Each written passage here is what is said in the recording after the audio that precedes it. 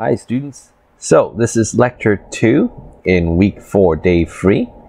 Uh, okay, so whereas in lecture 1 we taught you how to quote and paraphrase, this time we focus on how to cite the information. So this is citing the source. So remember lecture 1 we have quoting and paraphrasing or summarizing.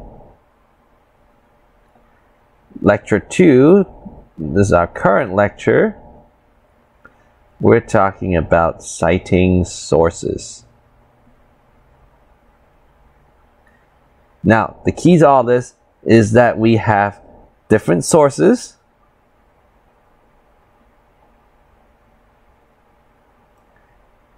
So we have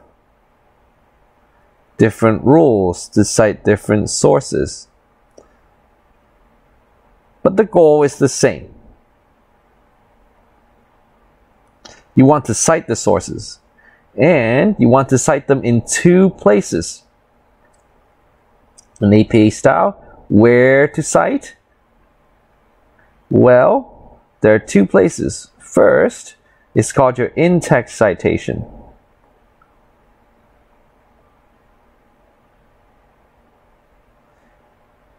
And where that is, is in your essay. So, everything from lecture one, you are actually using in-text citation. So that's place number one. What we will help you in this lecture is the reference section, or in this case, since you're working with multiple sources, that's references. So this is at the end of your paper. I'm going to use paper for your project and I'm going to use essay for your argument. Okay, so when you are citing sources here, remember in lecture 2, we're focusing on references. But don't forget, when you cite sources in APA, there are always two places. First, in-text citations in the essay itself. Two, in the references at the end of the paper. And when you cite references, the type of source is important. But the goal is the same. You are citing the source. You are recognizing the author's idea or info, and you're telling the reader who and what and what is being what is being cited, where they can find it, when they when they wrote it, and so on. So the rest of this lecture now is going to help you how to understand and practice how to cite different sources. So, to review, this is from lecture 1. So we quote or paraphrase. And this is your in-text citation. An in-text citation means you are citing in the essay. Okay, so here you still need information. So this is where I'm getting you to do your research proposal. The more information you collect and the more accurate and detailed you are, these are going to be useful for you. So the title, the author, the year published, the publisher, and the city or location that is being published. And so there's a bonus question that I'll ask you later later, but all of these pieces of information is going to be important for your in-text citation. Well,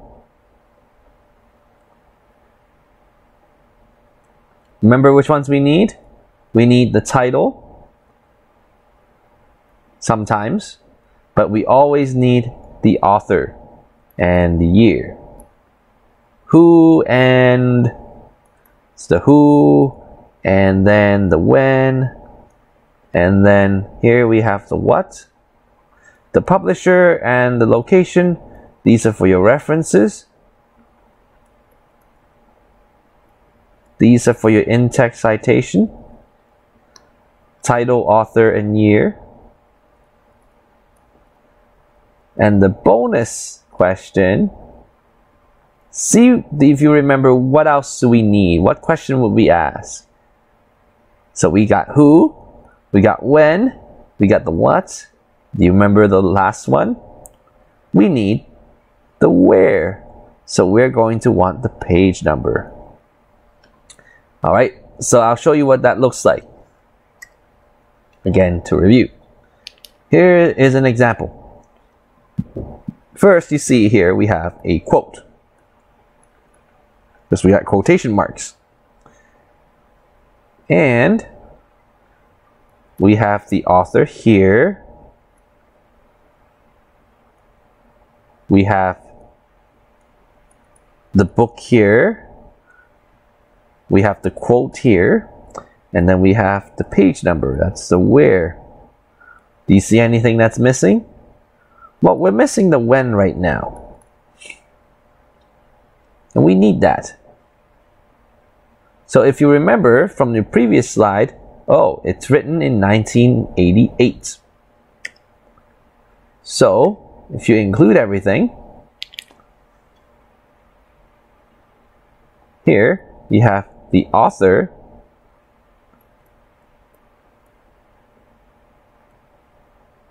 and Charlotte Brontë is actually the character, not the author. Author is Fraser. And then you have the year.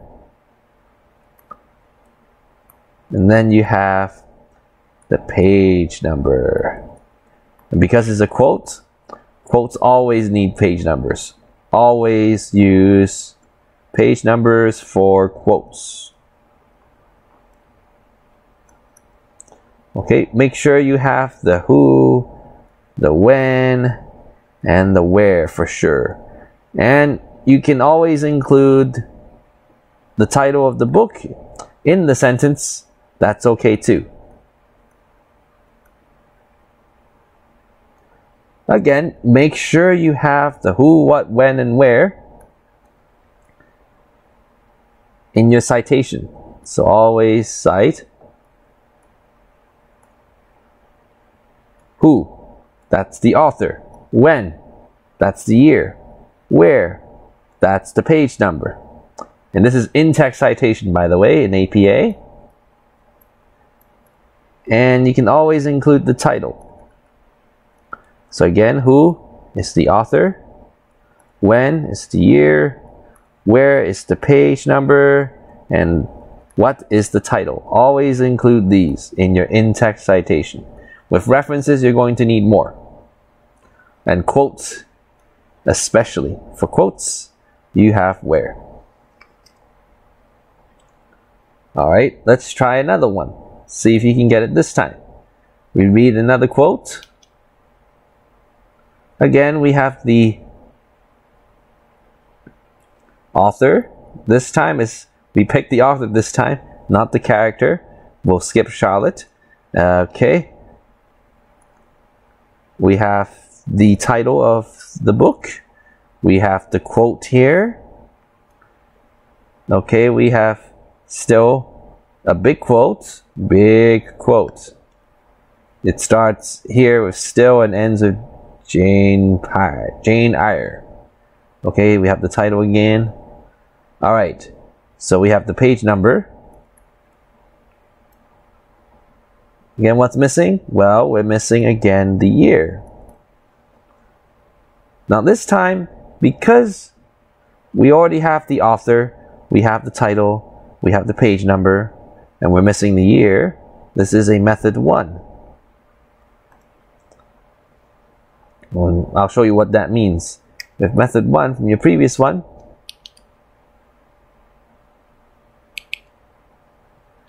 it's like the author X says dot dot dot dot and then your big quote here.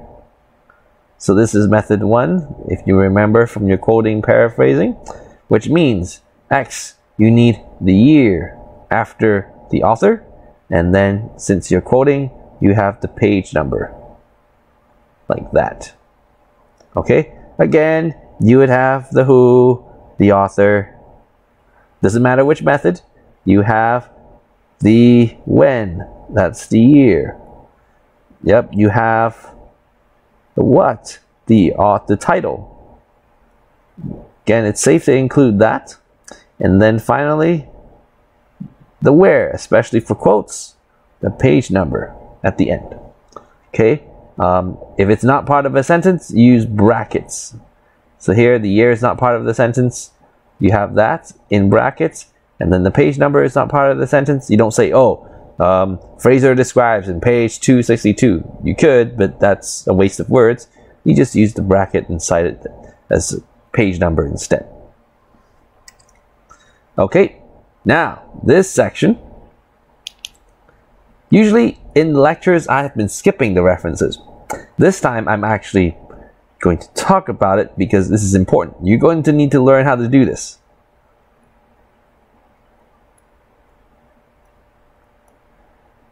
So in your assignment one and two, you're copying and paste. In all your assignments now, you are going to write it or type it. So, which means I'm going to teach you these parts and you're going to learn how to write it. So instead of saying how to do this, you're going to learn to how to write these references. So think of this references list as a traveling address list. It tells you where to find the source exactly. Find each source. And this is a book so a book has a particular set of directions. But the key parts are there. You have the author. Now notice here is an R, that's the initial. I'll explain that. So here you have the last name and then any initials, those are for given names. So for example, my name is Angus. That's the name I gave myself, but I have my legal name, King Chi, in Cantonese, and then my last name, Chan. So, I underline my last name, and all these are my initials, A, K, and C, the first letter of each given name. So in APA, I write my last name first, comma, and I stick with the initials, I use the order, the same order, A dot K dot C, if I were to use my full name.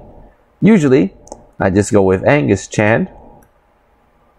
So my last name, Chan, comma, A, like that. So that's the first part, the author. In APA, you put brackets and then the year and then a dot the dots and commas are important. Notice the next part. This is the title.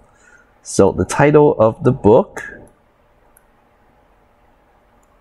So I'm going to underline to say that it's in italics. But you can press the I button for that. Make sure you do. And this is important for books. And if you have any questions about these, you can always check the APA citation guide on the same set of materials for today's lecture. Okay, and check this out for more info. All right, the next part here we have the location. So in your location, it is the city. And then well in this case it's the state. In Canada would be the province. But here this is the location. Location of the publisher. And then finally the name of the publisher itself. So you put semicolon. That matters too. And then you have the publisher. And this is missing here, you would have the page range, which means, let's say, if the quote was from page 75, so this is, and but then you read from, let's say, page 676 to 79. I'll use an example here. So you put pp dot 76 to 79 as an example. Okay, so notice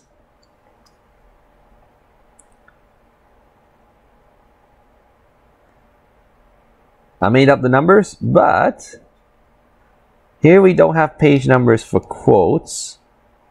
So again, no page numbers. The first quote in the essay, it tells you the exact page number, 37. So you can find this quote in page 37. The next quote from the same book is from page say 262. That's where you find this book. And if you were to put in the page range, you put PP, oh, let's say you read much of the book. and you would do that.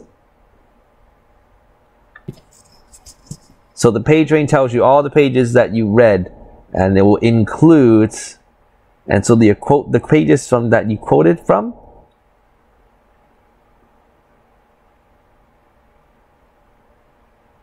that's going to be in there as well. Okay. So remember the parts, okay? You have the author with initials. You have the year, you have the title in italics. You have the publisher location. And you have the publisher. Now remember the parts matter. So you're going to have author. Remember, for example, you're going to have the last name and then any initials. I'm telling you this twice, so you're going to have a better chance of remembering these. Year is pretty simple. Put it in brackets and the dot. Title is going to be in italics.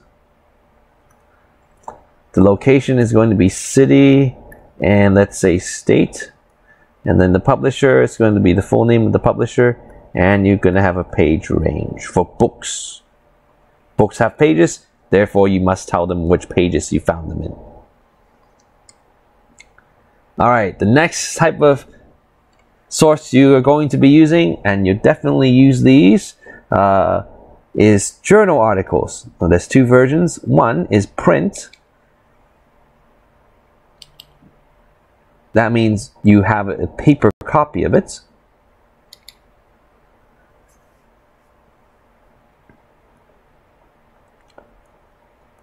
And the other one is an online database. Both are very similar because they have different similar parts. For example, you have the author, you're going to need that. You have the article title, you're going to need that too. Pages, you need that. The issue of the journal, the year, so that's your when. The pages, that's your where. Your title, that's your what your author, that's your who. Okay, volume is part of the when as well. And as part of the where, an extra part this time, because this is an article in a journal. There's like different stories in magazines.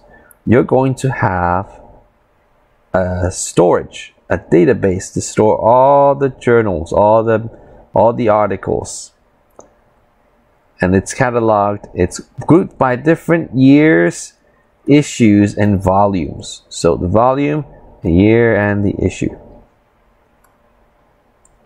Grouping all these together is going to give you the reference that you are going to need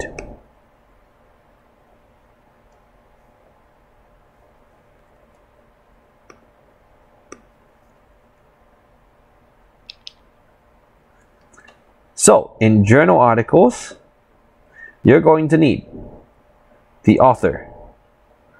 Again, remember, authors, they have last names and then the initials. Okay, and then you have the year in brackets and a dot. Here you have the article title.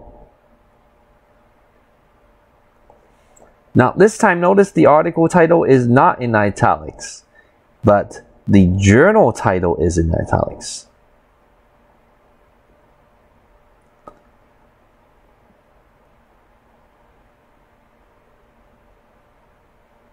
So watch out for that. Now the first number here, that's also in italics. That's the volume number.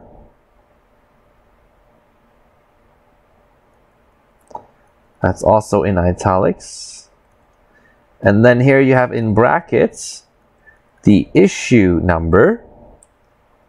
So that's normal, not italics. You have a comma after this. And then here you have your page range. And this is a print journal. So that's all you need. Remember to review, you have author or authors, the year. I won't underline so it won't confuse you with the italics. Author, year, the article title, the journal title in italics. It goes all the way here. The volume of the journal, the issue of the journal, and the page range. And all this is in your references. Now, because we have two sources, your references would look a little bigger. Mind you, because we're using PowerPoint, it's not in double space, but the hanging indent is there. So we got hanging indent going on here. That's good. I want you to notice something else as well. The first letter of the first word usually the author's last name.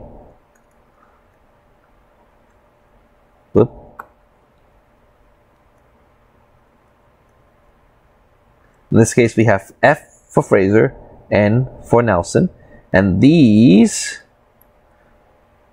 are put into alphabetical order. Think of your references as a sort of index. It doesn't tell you where in the article you can find the sources, like a book would, but it tells the reader how to find the sources themselves. And APA has decided to group these in alphabetical order to help you find them more easily. Okay, so again, that would be A, B, C, D, E, F, G, all the way to Z. Okay, and if you have the same first letter, I'll pick C. Let's say you have Chan, Cantonese, and Chen, Mandarin. C, H, those are the same, but you have A. A goes before E, so that's first. Okay, same with if you had Chang, well, it's C-H-A-N with nothing, and then C-H-A-N-G. So that would go in between Chan and Chen, for example. Okay, so that's the author's name. And you'd list all the references in alphabetical order, double space, and hanging indent. So as we work with more sources, your references will get bigger, but you always want to keep it in alphabetical order double space, and hanging indents. Okay, moving on. More sources to cover. This one is an online journal. You'll be reading these a lot, so you can find these in the UBC library database, and you would read something like this. Here we have a long title. It's probably the entire first line here or just this one. But either way, That's the title of the article.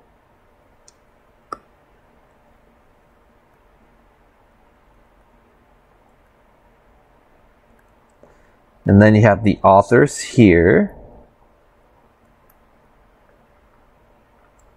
which you'll have to rewrite. And then you have the journal. You'd have the year. You'd have the volume. And issue. And then you'd have the page range. And the reason I'm showing you this is it is better in the long run for you to write it. Now there are options where you can click a cite option but write your source your citations this way you know what rules to use and how to use the rules properly It'll take you longer to practice, but it's worth it. So when you got all the parts, this is what it would look like. You have two authors this time. So you have the authors. So this would read last name and then initials. And then you have the and. You use the symbol instead. If it's two authors, there's no comma you just use the and symbol and then last name again for the second author and then initials. Okay, then you have the year as usual. It's the same type of journal, but this one is online, so you need more things. This one is your article title. The green is your journal title. And remember, that's in italics. Okay, and then you have the volume here, which is also in italics. You have the issue in brackets. Then you have the page range here. And then this last part in blue, this is like your link because it's online, so you have a link. So, DOI stands for Digital Object Identifier. Okay, this is like your URL or DOI. You're going to need this to show the reader where they can find it on the computer because it's an online source an online journal article. Okay, and then you include everything else. The when, the year, the article, what it is, the author, the who, right here. And then you have where they find it in the journal. And also where they can find it online. So adding this to the reference, you'll see that we start with A, and then we go with F, and then N. So again, remember, this is alphabetical order.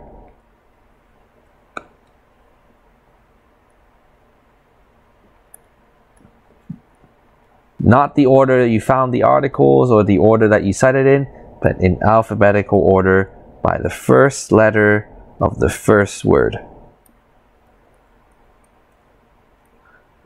Again, I just told you as well, uh, if the first word, first letters are the same, go with the second letter. And if, the, if that's the same too, go with the third letter and so on. But generally, the first letter of the first word is enough, like A, F, and N. Group your sources that way. And remember the hanging indent, the first line is not indented, so with each new line that is not indented, that's your source. So this would be 1, A, 2, and 3. Again, alphabetical order. Can't stress that enough.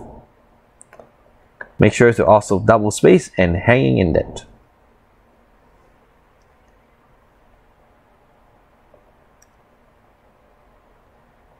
Here's a different journal. This time there's no DOI.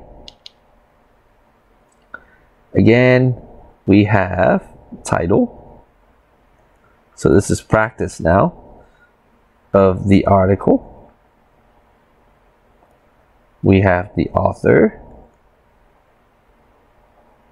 We have the journal. We have the year.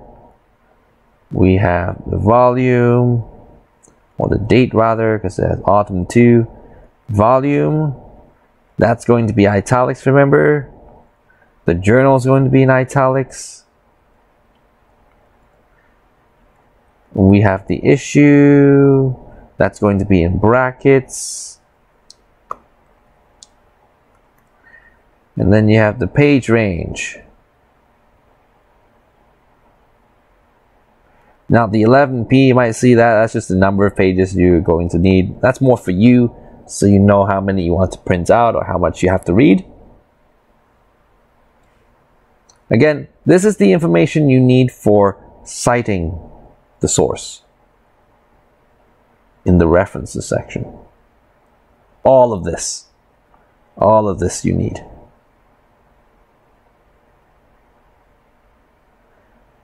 And if you want to test yourself, see which ones out of these you need for your in-text citation.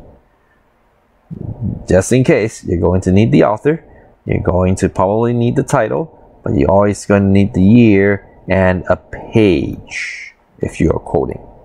Okay? So, with all that information,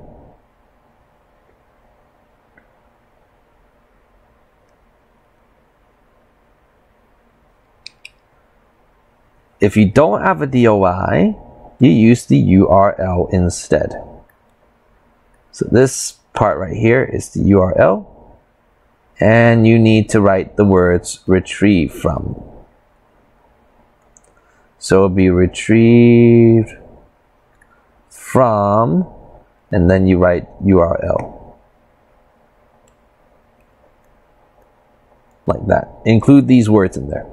Everything else is the same for journals, author, year, the article, the journal in italics, the volume in italics, the issue in brackets,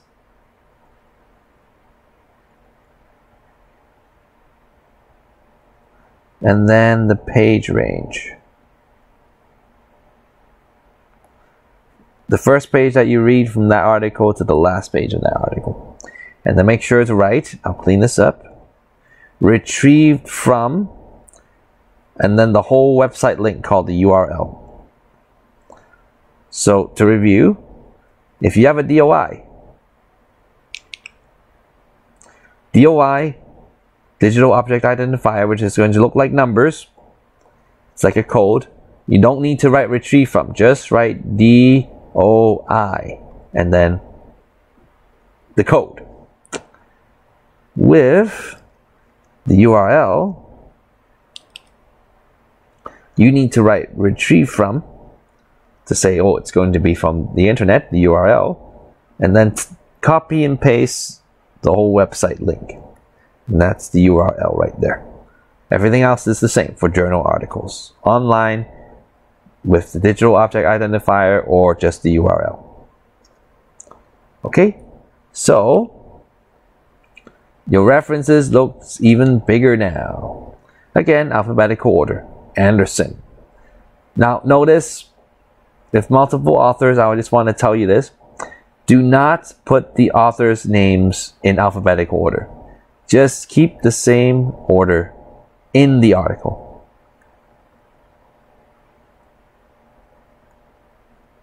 This is the key in the article. But in your references, change the order to match alphabetical order in your references. Order of sources, not authors. Authors are the same order. What you see is what you get, even if it's a Z first. But if it's a Z, then you put that source at the bottom, Z, in your references. Okay, remember, make sure you put all the parts. Make sure to be using double space and hanging indent. Okay, other situations, just to name a few of these. It's a book, and it's an editor that made the book, not the author. So you use E dot D, E D dot for editor. So to say this person is not the author. An ebook is an electronic book, so it's an online source. Everything here is the same as the book, but because it's an ebook, you have retrieve from and then the URL that you copy and paste.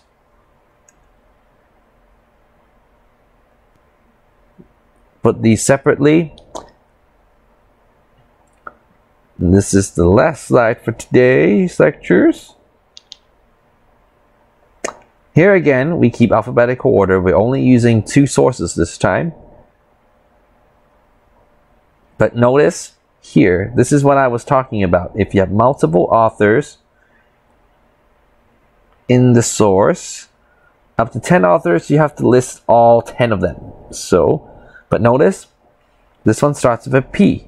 There are other last names in the article that has A and M uh, and another A and an S and a B. So, authors in the article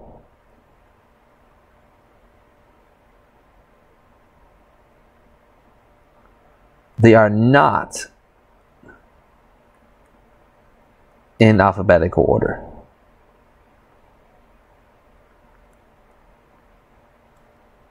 It's just whatever order you see, that's you keep the same order. Keep the order that you see. Don't change it.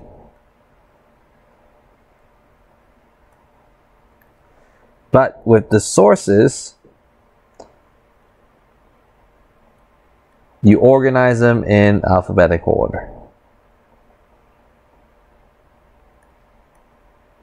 Okay, so to review, in your references, I'll clean this up. In your references, you always want to include the who, that's the author or authors. You always want to include the where, so that has more information now. That can be things like uh, the book, the publisher, if it's a book. It can be a journal if it's a journal. You're going to have like volume and issue. And if it's an online source, you'd have DOI or retrieve from URL, right? Uh, if you have the what, well, you have the title. And that's the title of the article or book. And then you have the who, what, when, when. You have the year, that's important, right? Make sure to include all these things. Some of these you include in your in-text citation. So I'll underline the ones you want to include. That's the author.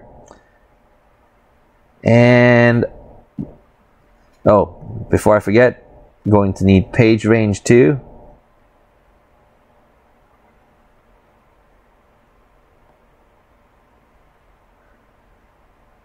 Page range, ooh, what the, so in text citation, you're going to need author, page, year, and the title. And for your references, you're going to need everything. You need author, you need page, range. Notice the difference. Page number in the in-text citation, if you're quoting, page range for your references, You need the year.